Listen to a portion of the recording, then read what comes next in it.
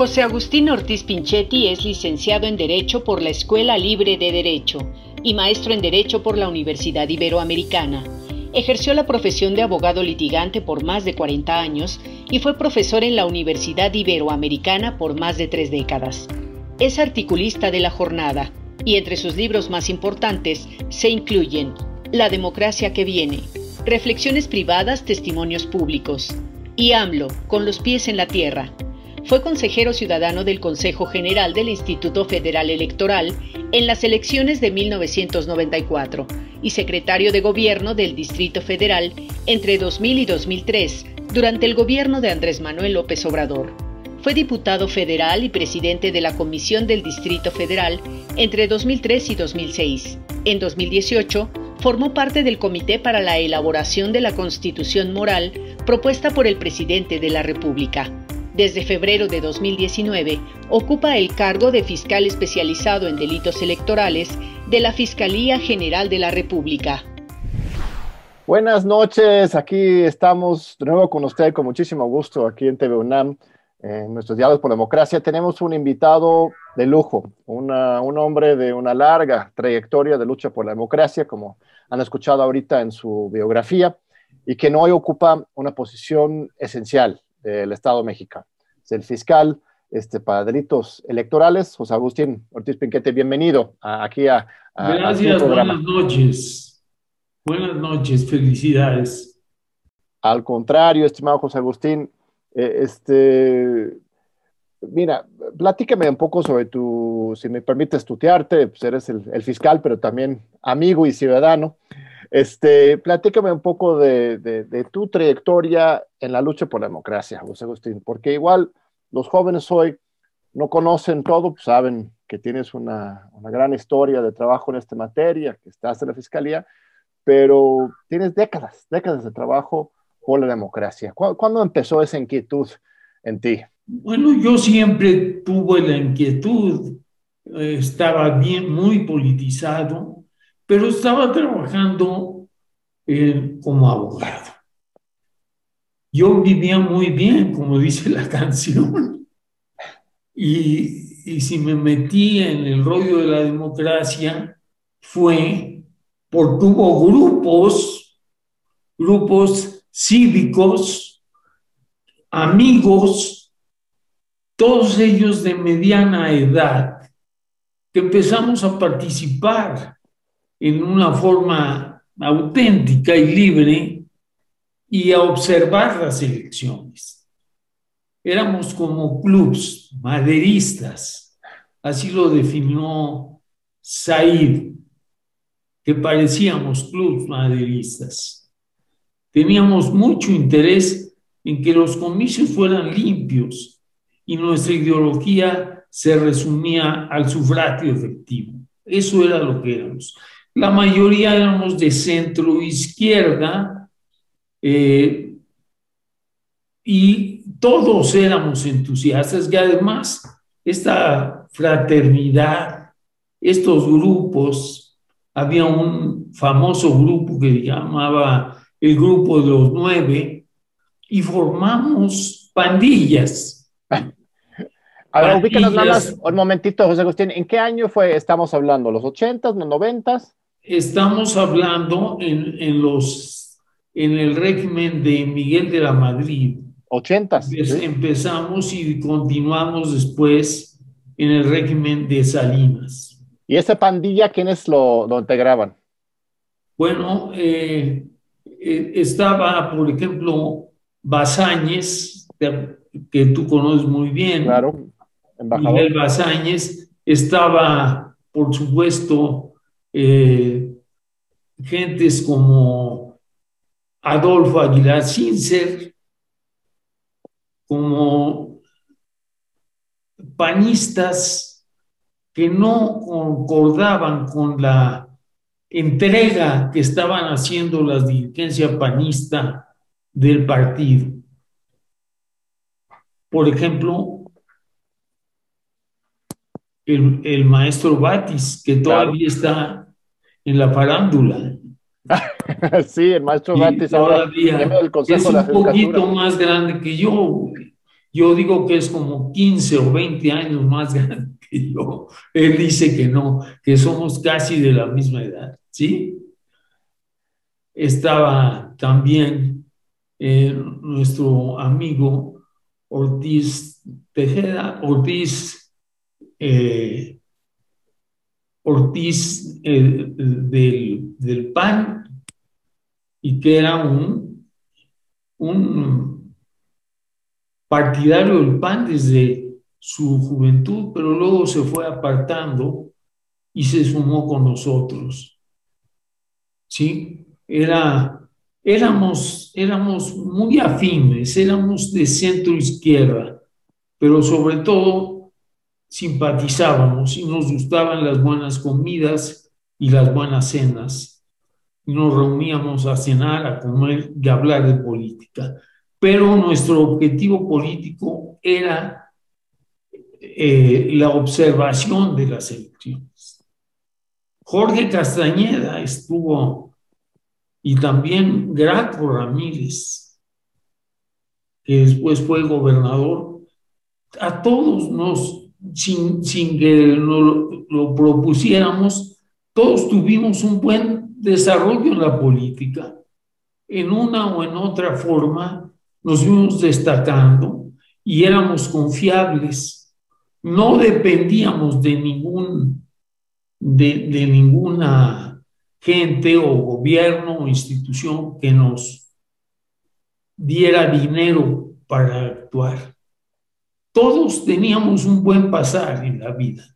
Éramos maduros y habíamos tenido un buen éxito en nuestras profesiones. Y, el contexto electoral era este, duro. O sea, tienes el fraude de 88, tienes 94, no sé si le queremos llamar fraude o no, pero no fue exactamente una elección equitativa. Este, tú nos podrás contar mucho más este, cercanamente. Es justamente en 94 en que tú te incorporas como consejero electoral, este 94 a 96, dos años, este, junto con Miguel Ángel Chapa, Ricardo Posas, Woldenberg en su primera, este, primera estancia y en el IFE. Y fue justo estos dos años en que se empezó a forjar la transición a la, democrática, a la democracia, en que hicieron ustedes mismos, convocaron tú y Santiago Krill, que también el consejero electoral, e, este, a este pacto de, este, ¿cómo, ¿cómo, le llamabas? El pacto de, del de, Chapultepec, el, pacto de Chapultepec, ah, que justamente generó las condiciones para el acercamiento a la oposición y la reforma política 96. Sí, efectivamente, Krill y yo trabajamos eh, porque no teníamos nada que hacer como consejeros después de las elecciones y entonces yo le propuse que hiciéramos un seminario, un taller donde estuvieran el PAN y el PRD. Yo le decía que esa era la kriptonita contra el, PRI. Cuando se unieran las oposiciones de derecha y de izquierda, el, PRI no tendría más que entrar. Y le entró. Y en el seminario del Castillo de Chapultepec intervino en la última fase el PRI y llegamos a acuerdos que se parecieron mucho a la reforma de 96.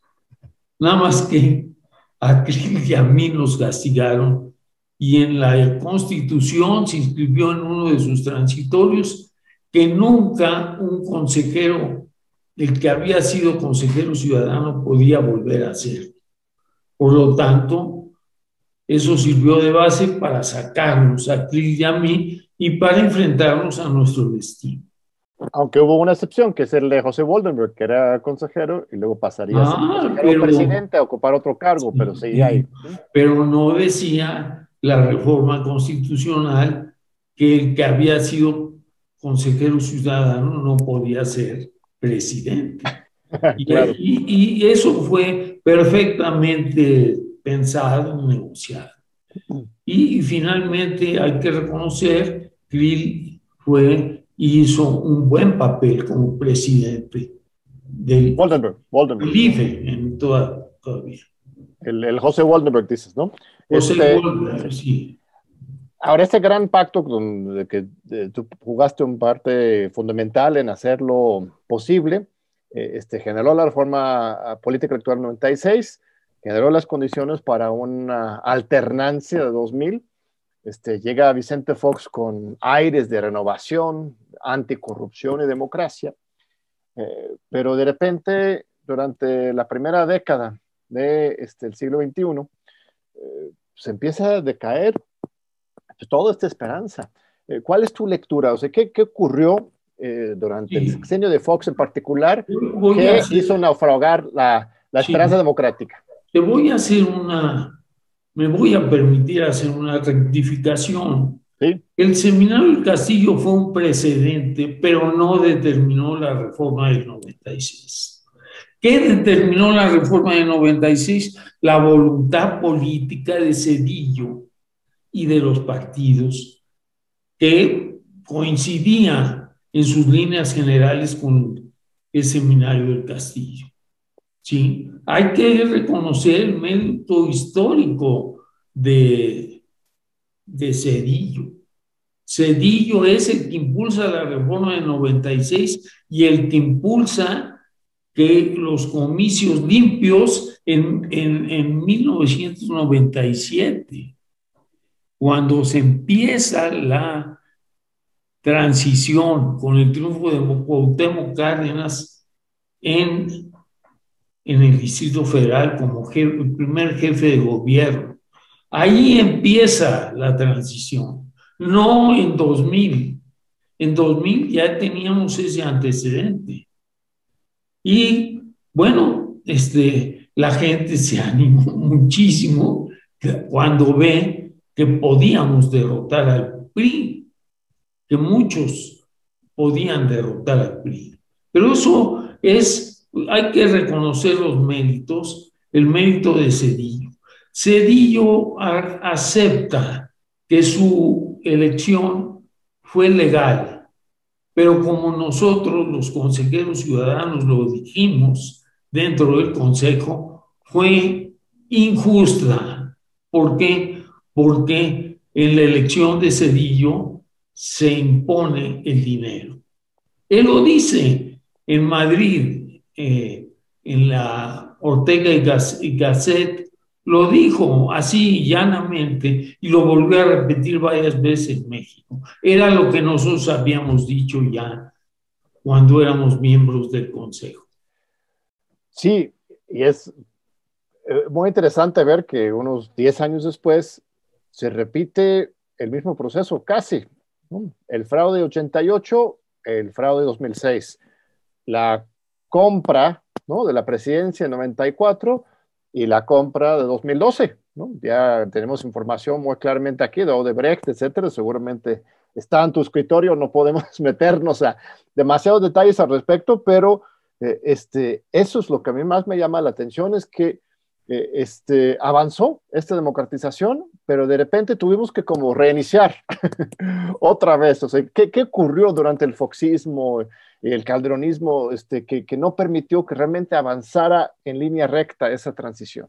Es cierto, como lo estás diciendo, eh, para mí es una tragedia que Vicente Fox, que había ganado elecciones limpias y justas en el año 2000, trataba por todos los medios de impedirlas en el año 2006.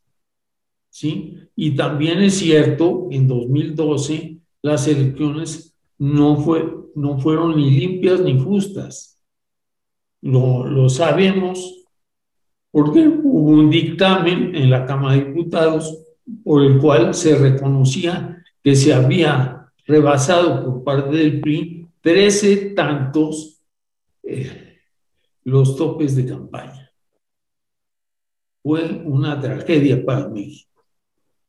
Digo, fue una tragedia porque sin democracia, sin origen democrático, el gobierno no podía tener un trayecto democrático. Así es. Tú mencionas este estudio de la Comisión Monex en particular, ¿no? Del, del Congreso de la Unión, que se integró después de la elección 2012, en que efectivamente concluyó que por lo menos, ¿no? 13 veces. Por lo menos. De rebase topes de campaña. Eso es lo que se pudo demostrar. Y, este, y ese expediente, por cierto, todavía está abierto, hay, o está ya proscrito todo ahí de 2020. Bueno, están abiertos algunas, algunos delitos importantes, pero no el, el, el completo, el, lo completo, lo, lo complejo, lo integral del, fraude que para mí fue obvio. Es decir, la palabra fraude decían los priistas, no podemos hablar de fraude. No, es un rebate, por lo menos, como tú dices, de 13 veces el sufragio, el, el, tope de campaña. Sí, este, hoy en 2021, eh, bueno, empezando con 2018, este, yo tengo una hipótesis, eh, tú mismo estuviste, hiciste el honor de ayudarnos a presentar un libro nuevo de, que tenemos del programa universitario. Aquí en la UNAM hicimos una observación electoral 2018 en que llegamos a la conclusión que el fraude o las prácticas fraudulentas, para no caer en la disputa de qué es y qué no es fraude, no desaparecieron por esta arte de magia. No es que se sumó estas este, viejas prácticas, sino que fueron inundadas por una ola de participación ciudadana que los anuló, pero que todavía hay, este, bueno, hubo en 2018 y ahorita eh, regresando del corte vamos a hablar de, del tema de 21, este, pero hay todavía actores en el escenario político actual que este, pues tienen las viejas mañas, ¿no? No es que mágicamente se acabó toda la maldad, o, o, ¿cómo, lo ves? Mira, yo es una, una visión que tengo respecto de 2018 que es distinta de la tuya. Y la Adelante. Controvertido. Yo creo que hubo, una fuerte restricción a, la, a los impulsos de, de hacer el fraude. Y de eso viene, yo lo pienso, es una especulación, lo pienso que vino del propio gobierno. Una de las razones que tuvo el gobierno para restringir las tendencias hacia las trampas y fraude fue que ellos midieron perfectamente que era muy peligroso volver a hacer el fraude. Y no, no por virtud, por necesidad, restringieron los impulsos. Mira, yo estuve en muchas elecciones. Cuando se proponen hacer el fraude, lo hacen. Tienen recursos enormes, tienen complicidades inmensas. Y en 18, en alguna forma, eso se restringió. Y por eso, y por ese impulso popular del que tú hablas, que se manifestó en los votos, ganó Andrés Manuel López Obrador. Muy bien, vamos a tomar una breve pausa, estimado José Agustín, y regresamos para seguir con este fascinante diálogo con el fiscal especial para los delitos electorales de la Fiscalía General de la República. No se vayan. Aquí seguimos con don José Agustín Ortiz Pinquetti, este, nuestro fiscal de delitos electorales de la Fiscalía General de la República. Este, estamos hablando de esta evaluación 2018.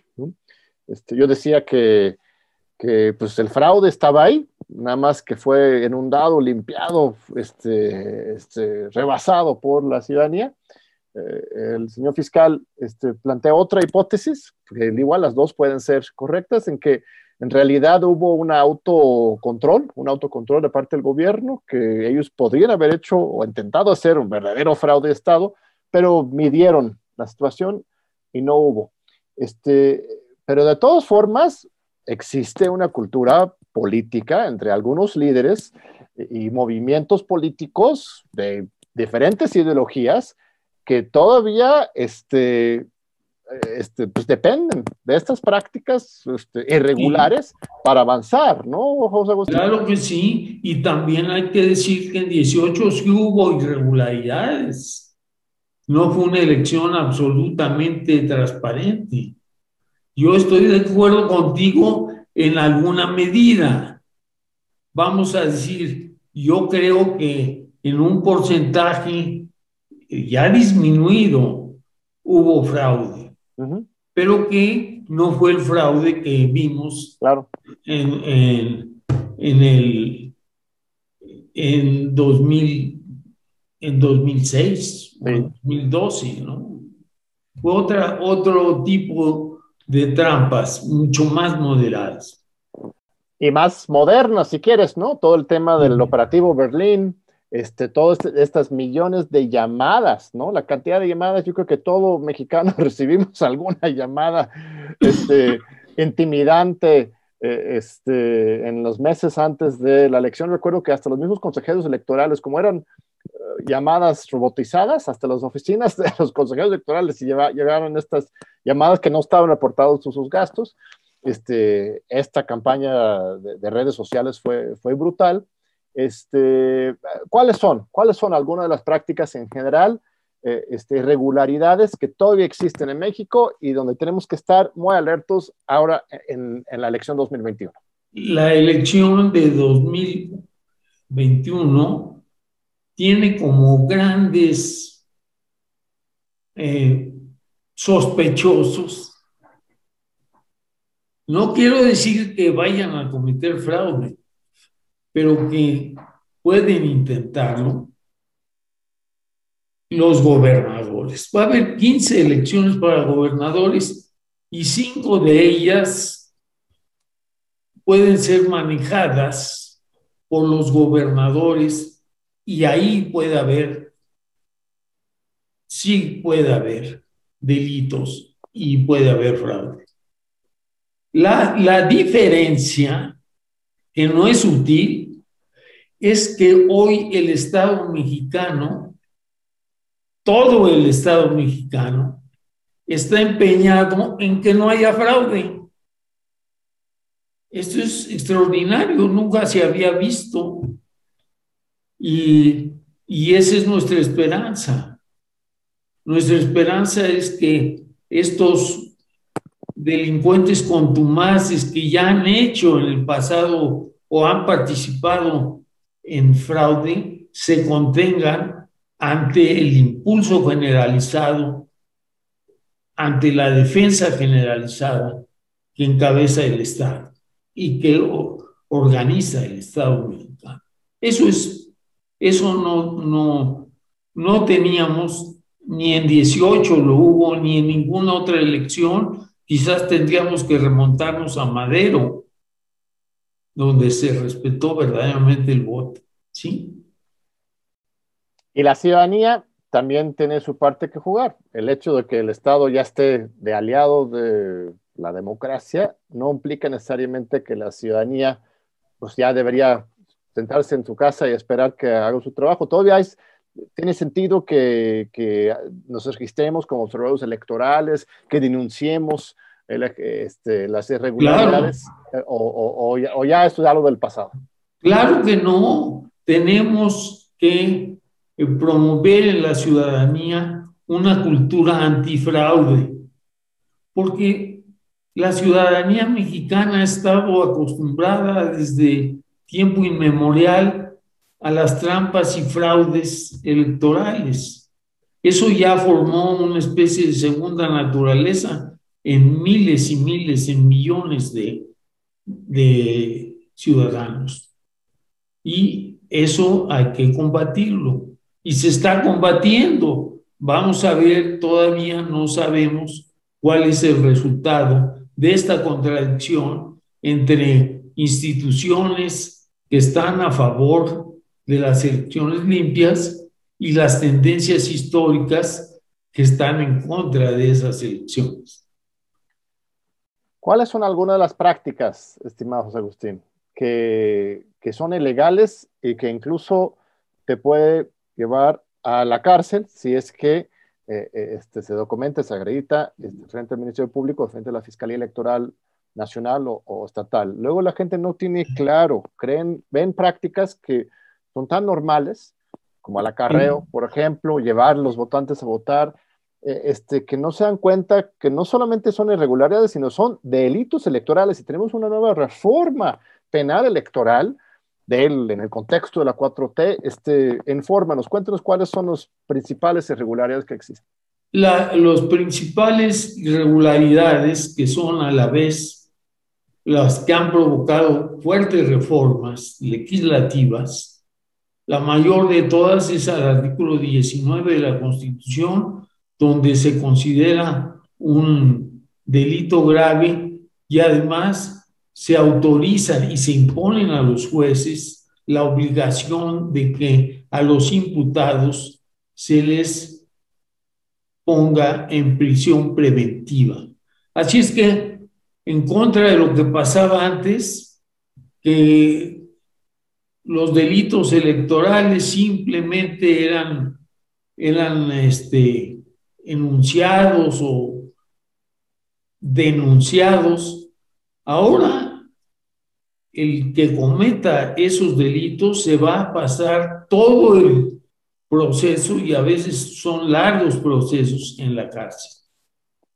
Ese es lo que la ley ha establecido para los delitos que, consisten básicamente en la manipulación de los programas electorales con fines con, con, eh, a través de los programas sociales. Es decir, si hay eh, los programas sociales son utilizados para inducir el voto a favor de, de determinado eh, candidato o partido, pues eso puede costar la cárcel, pero la cárcel desde el principio mismo del proceso penal. Eso es fuerte, ¿eh?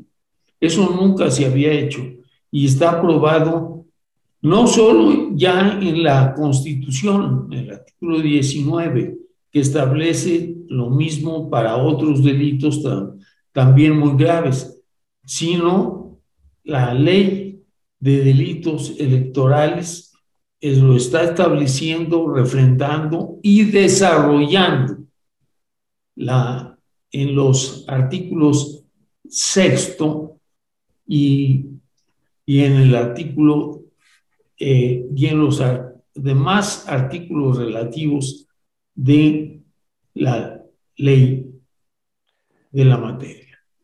Sí, muy importante. Entonces, una cosa es cualquier condicionamiento, cualquier incluso relación con la entrega de algún servicio público con algún partido un candidato, esto no solamente es una regularidad electoral, es un delito penal, ¿no? y es un delito grave. Si alguien te vacuna, este, o este, te entrega este, cualquier programa social y, menciona o condiciona la recepción de este servicio público a cambio de un apoyo político, esto este, inmediatamente debe ser denunciado. Aquí mismo eh, este, se, ve en su pantalla, vamos a, poner ahí el sitio web de la FEPADE que tienen una, aplicación y un formato de denuncia online muy ágil, muy ágil, eh, este, en que usted puede denunciar ¿no? de manera anónima, ¿no? con una foto, un video simplemente una relación de hechos. Eh, este, otro tema es este tema que mencioné del acarreo. Cualquier persona que organice una reunión de votantes el día de la elección, eh, este, está cometiendo un delito. Aunque lo hagan en la más... Eso, eso ya existía, eso ya existía. Y infortunadamente no hemos podido aumentar las penas para ese tipo de delitos. Pero lo que sí es absolutamente cierto que esos delitos ahora van a ser observados y perseguidos en una forma muchísimo más enérgica. ¿sí? Tenemos, tenemos eh, un equipo que está unido a la Fiscalía General de la República y que en cada estado va a estar observando este tipo de conductas y las va a estar denunciando y castigando. Sí, eso es muy importante. Otro, tema, por ejemplo, es el de la, el, el, pago, ¿no? La, la compra del voto. O ni siquiera se tiene que consumar la compra del voto, simplemente solicitar o ofrecer, ¿no? Este dinero a cambio ah, de, un, de un voto es un, un delito, un delito que puede este, mandar a la cárcel a la persona. Es decir, una vez es importante para mí repetir, este, señalar esas prácticas muy concretas, porque se ha normalizado en algunas zonas, ¿no? En algunas partes del país, y, este, y aquí por fin, por fin tenemos una fiscalía comprometida con eh, este, perseguir estos delitos y, no hacerse la, de la vista gorda, eh, eh, este, lo cual era este, la norma, ¿no? En el pasado, lamentable con este, este FEPADE. Mencionas, ¿cuántas personas vas a desplegar nacionalmente en esta elección? Que son muchísimos cargos, no solamente gobernador, pero diputados locales, federales. Nosotros, nosotros vamos a, desplazar aproximadamente entre los, los agentes del Ministerio Público y sus auxiliares, 100 personas, que son poquísimas tomando en cuenta la magnitud del territorio y la complejidad de la elección. Pero eh, tenemos muchos aliados. Por ejemplo, la Secretaría de Seguridad Pública, Seguridad Ciudadana, creo que se llama, va a desplegar todo su potencial. Y por ejemplo, incluso el INE, el INE está ayudándonos y creo que lo están haciendo porque conviene hacerlo y porque coincide con la forma de, de que están viendo esta elección. También ha desplegado ya 50 mil gentes. Y, y la Guardia Nacional, antes la policía y la Guardia Nacional servían para ocultar y para proteger a los delincuentes. Bueno, la Guardia Nacional no existía, es una, una innovación importante y reciente. Y, este, esta serie de cambios nos van a favorecer enormemente a los que estamos a favor de una, de una elección democrática. La Fiscalía tiene representantes, delegados en todo el continente, en todo nuestro territorio. Es, es, es, una cosa impresionante, tiene una estructura de delegados y subdelegados en cada estado. Eso cuenta. Ellos van a estar aliados a nosotros. Y también, perdón. Sí, adelante.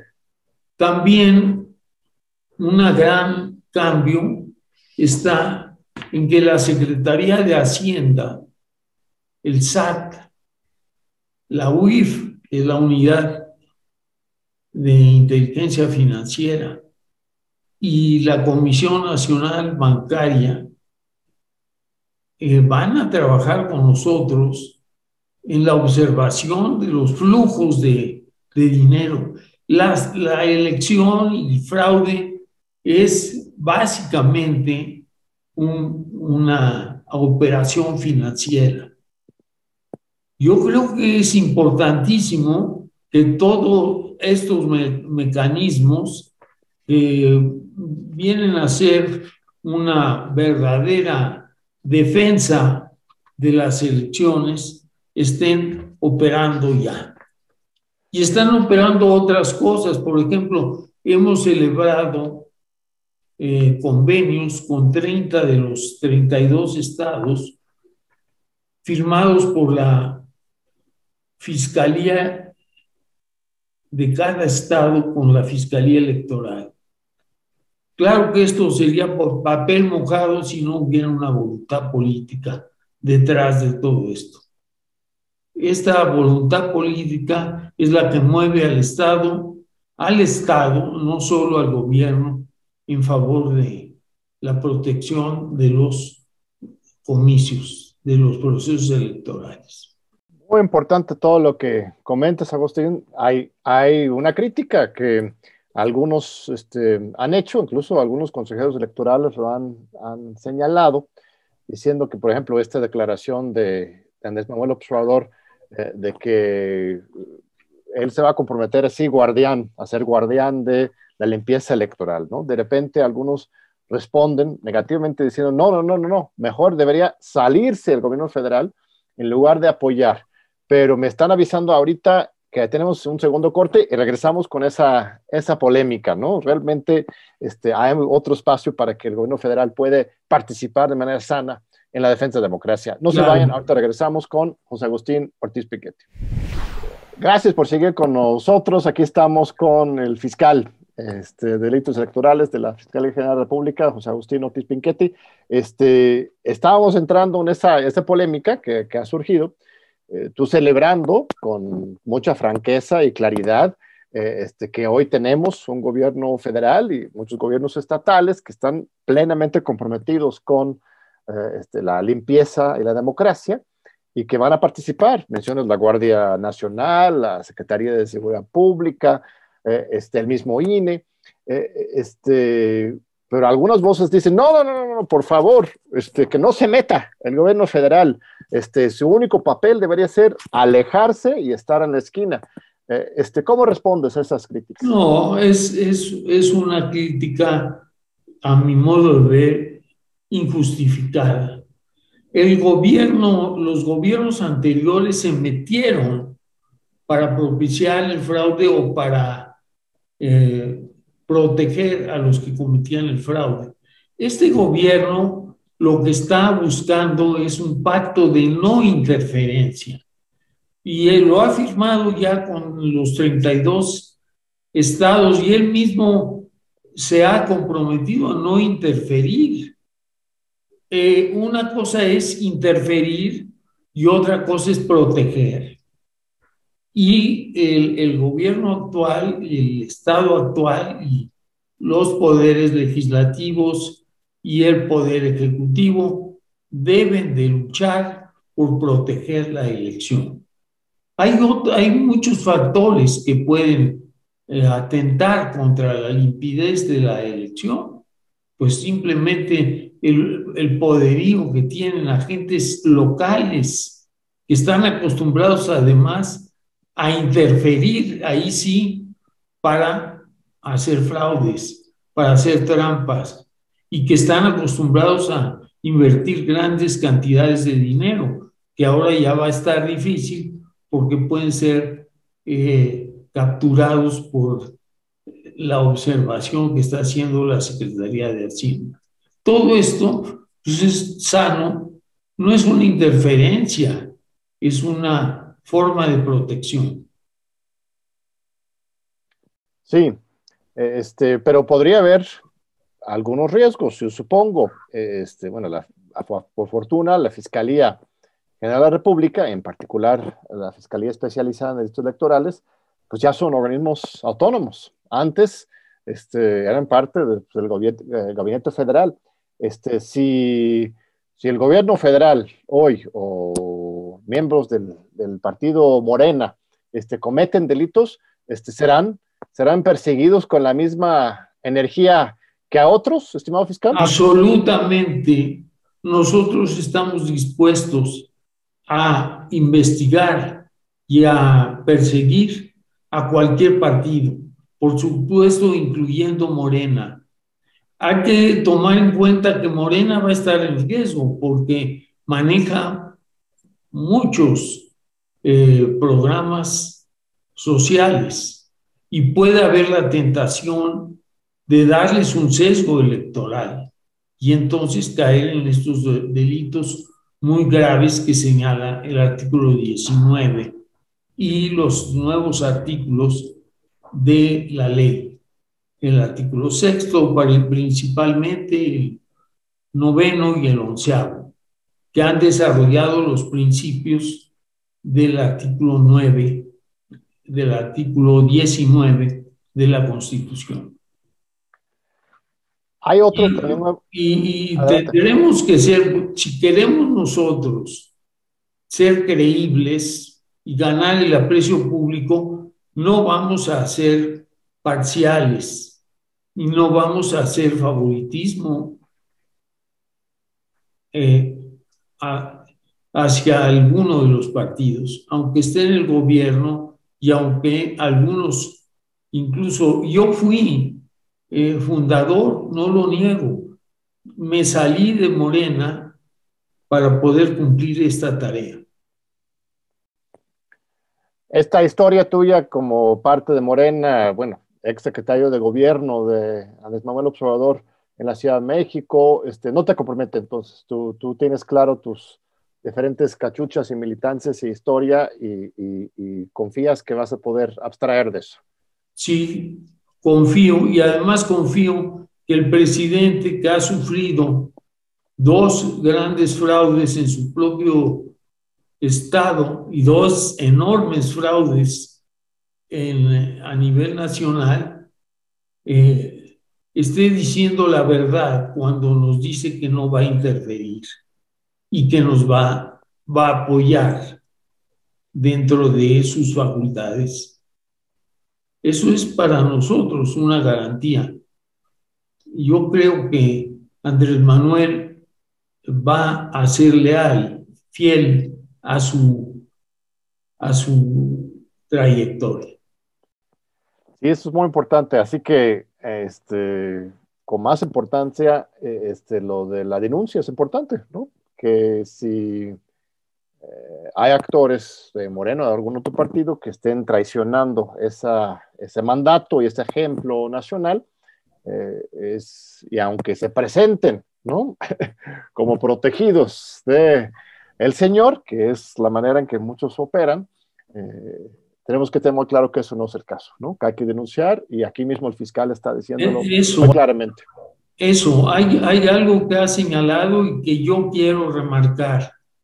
La ciudadanía debe proteger los comicios, porque si la ciudadanía ve con pasividad este fenómeno y no participa denunciando enérgicamente los delitos electorales, pues poco podríamos hacer los que estamos a favor de un cambio democrático.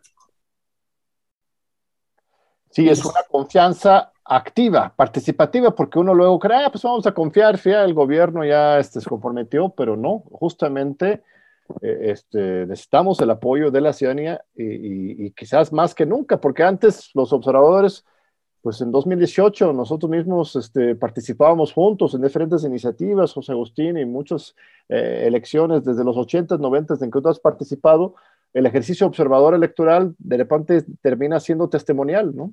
Presentas tu denuncia y pues ya, ahí se queda.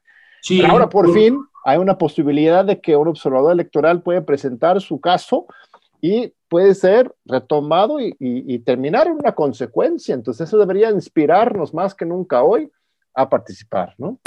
Así es, actuar como observadores, pero también actuar como denunciantes eh, por ahí vi que apareció los números clave para hacer estas denuncias. Yo creo que vale la pena. Directamente. Hay otros, hay otros este, delitos nuevos. Por ejemplo, la de, el de este, violencia política de género. Es, es una coyuntura importante, el movimiento feminista, del cambio de mentalidad que, que se está ocurriendo en la, en la sociedad mexicana este, cuéntame, ¿también es competencia de la Fiscalía Electoral o más bien eso va a otro lado?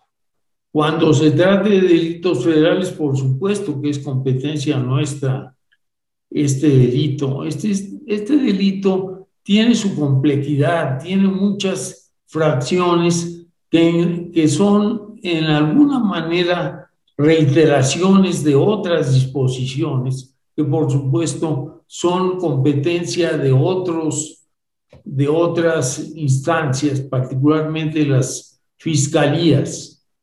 Pero este, es un delito que ha provocado mucha expectación en la población. Y creo que está bien. Eh, eh, y estamos atentos a las denuncias que se van a presentar, que son muchísimas.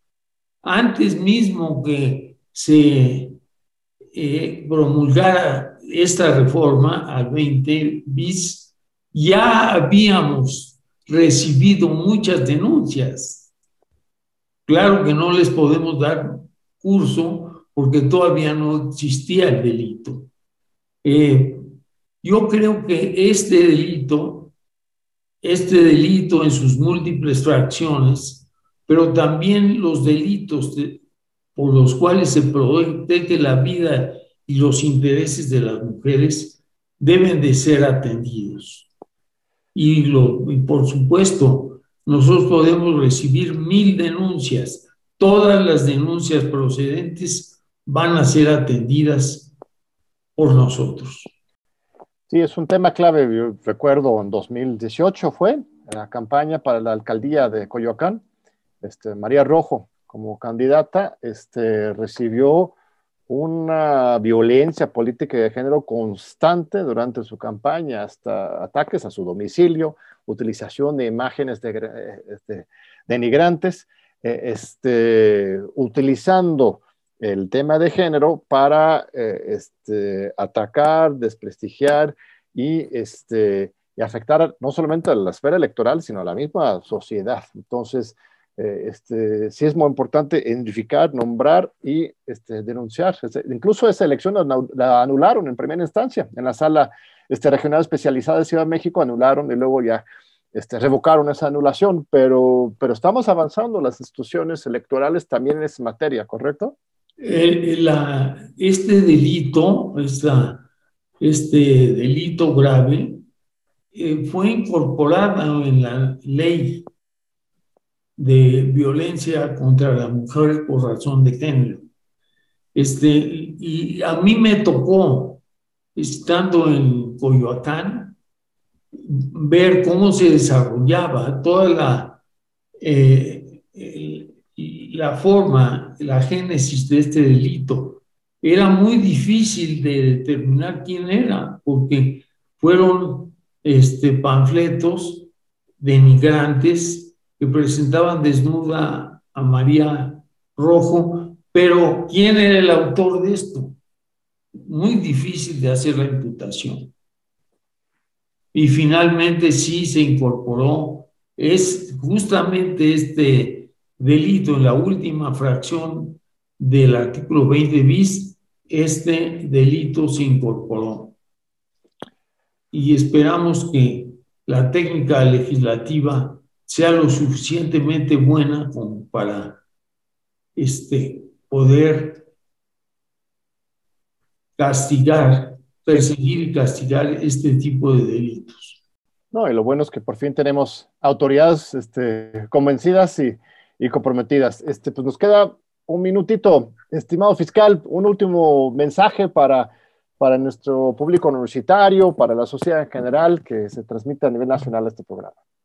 Sí, yo creo que hemos cambiado el trayecto difícil de la transición a la democracia ha llevado finalmente a la a que llegue al poder otro gobierno y que finalmente se conforme otro Estado y que ese Estado esté a favor de la democracia por primera vez. Y entonces, pues me siento muy orgulloso de participar en este esfuerzo y de pensar que vamos a tener elecciones distintas no es seguro, ¿eh? Las elecciones fraudulentas no han, eh, no han sido borradas.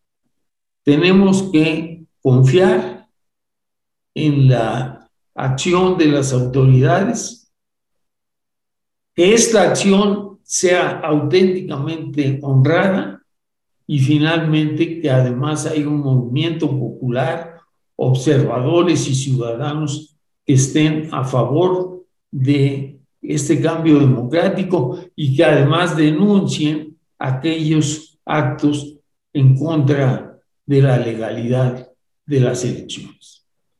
Pues muchas gracias, estimado José Agustín. Este, qué honor poder conversar con, contigo, este, retirar la invitación al público a que denuncien, que lleven sus casos este, por teléfono, por internet. Hay miles de, bueno, miles no, pero varias vías de, denuncia. No nos quedemos callados para que las instituciones puedan hacer su trabajo. Necesitamos estos ojos ciudadanos. Este, pues muchas gracias al público por seguir con nosotros. Gracias, José Agustín.